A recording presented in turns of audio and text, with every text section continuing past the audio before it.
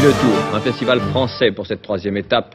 Catio démontre qu'il est le meilleur chez lui et prend le maillot jaune à Reims. C'était en Hollande, à Schwenningen, tout d'abord sur la promenade, énormément de monde. Et là, Jotmelk, Jotmelk, l'enfant du pays, marié à une Française, ne pouvait que gagner. Poulidor prenait la deuxième place à 80 centièmes pour 80 petits centièmes de seconde. On se demande si Poulidor n'a pas laissé passer la chance de sa vie, à savoir un maillot jaune enfin.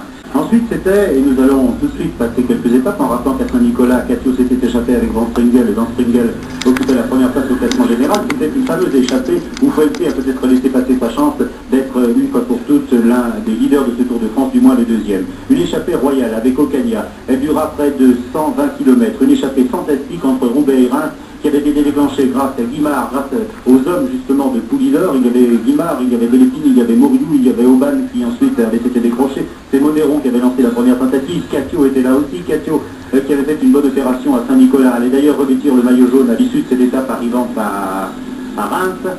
Eh bien, euh, derrière, les battus se nommaient Fuente. Il sera crédité euh, d'un temps de 7 minutes 17 secondes de retard à l'arrivée à Reims. Et là, Fuente acculé à l'arrière du peloton, verra peut-être passer d'une de ses chances de remporter la grande boucle. Quatrième, Régis Delépine. Huitième, Louis Ocagna, qui a réalisé là ainsi que Guimard une bonne opération. Neuvième, José Catio, le régional de l'étape, qui revêt le maillot jaune. Retiens la nuit pour nous deux jusqu'à la fin du monde. Retiens la nuit pour nos cœurs dans sa course vagabonde. Serre-moi fort contre ton corps.